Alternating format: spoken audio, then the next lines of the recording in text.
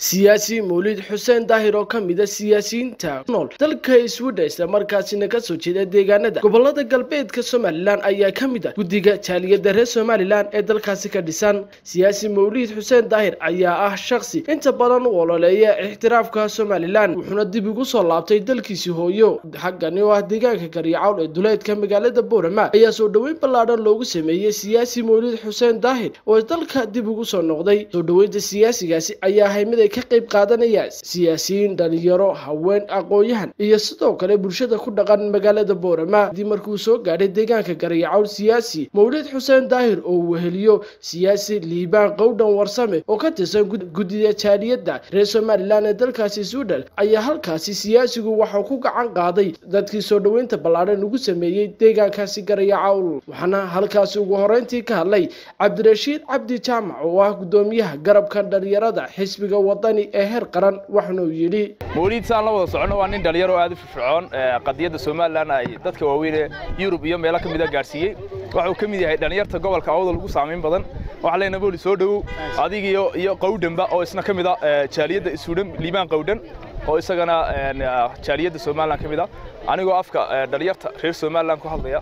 Maanta afka xisbiga kuma hadlaya afka dhalinyarta somalilan baan ku hadlaya. Waxaa leenahay walaalkay soo dhowow waxaan rajeynaa insha allah inaad wax badan waddanka ku kordhin doonto intii lagaa bartay waxaad ka mid ahay dadkii jaaliyadda somalilan ee dibadaha ugu firfircoonaa waxaan rajeynaa inaad waddankana wax badan u qaban doontaan insha allah halkan waxaan iskugu soo baxnay soo dhoweynta walaalka mawliid xuseen daahir qalinle waxaan leenahay soo dhowow qamco furan iyo qalbi furanba ku soo dhowow dalkaagii hooyo.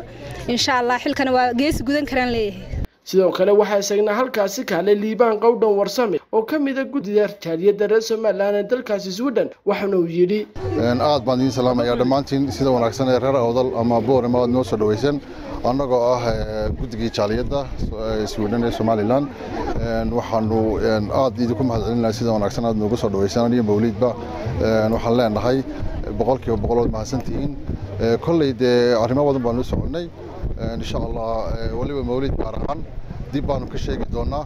Hadda uun micnaha waxay tahay inaanu idiin mahad celinno waxaana halkaasi ugu dambeyntii ka hadlay siyaasi mawlid xuseen daahir ayaa ka mahad celiyey soo dhoweynta loo sameeyey waxaan u mahadnaqayaa dadweynaha halkan isugu nagu soo dhoweeyey aniga iyo guddiga jaaliyadda. Mar labaad waxaan u mahadnaqayaa haweenka dhallinyarada dadkaygii oon maanta dhex yimiday isma lahayn sidaa lagu soo dhoweyn doonaa insha allah markaad timaado waddanka.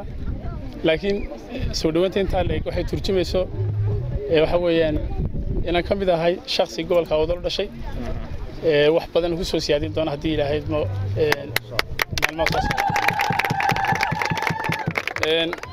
kolley howlo badan baan u nimidnay annagoo maanta ku hadlayna keliyaatay inaan u mahad celino dadka la soo dhoweeyey wixii dambena gadaal baan ka sheegi doonaa. Kulanadha dambena waxaan la yeelan doonaa dhallinyarada haweenka inta ay khusayso hawshaan u soconno. Maalmaha soo socda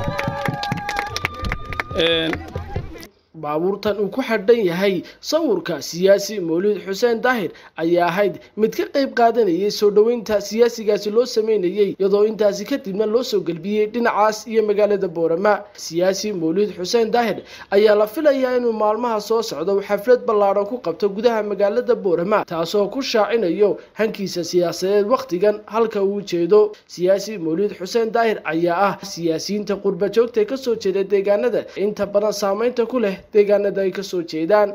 Maxamed xasan ismaaciil shadbere wararka telefishinka sahan magaalada boorama